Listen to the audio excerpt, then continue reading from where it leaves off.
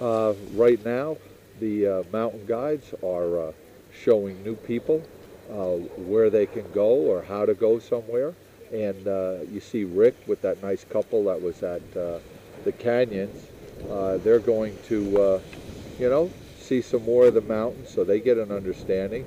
They're meeting Fred and Virginia, also two other ski patrolmen, ski guide, mountain guides.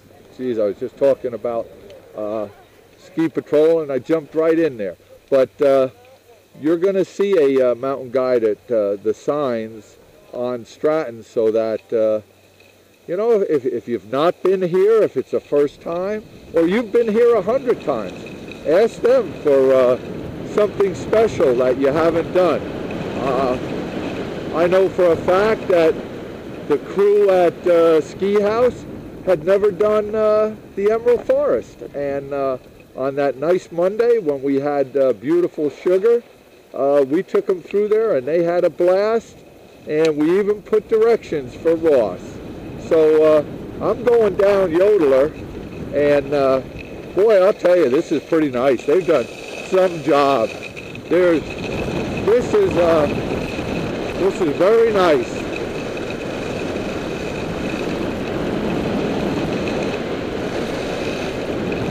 And Ryan, you are right. You did tune these beautifully. You put a great tune on them. Yes, sirree. Eh? They're gorgeous.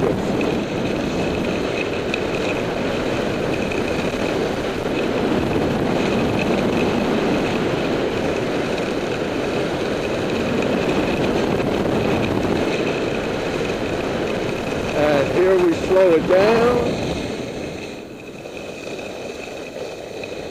We get to see the future here at Strat. There he is. He's all helmeted up. Let's see if we uh, can find Mr. Ross. And here he comes right now.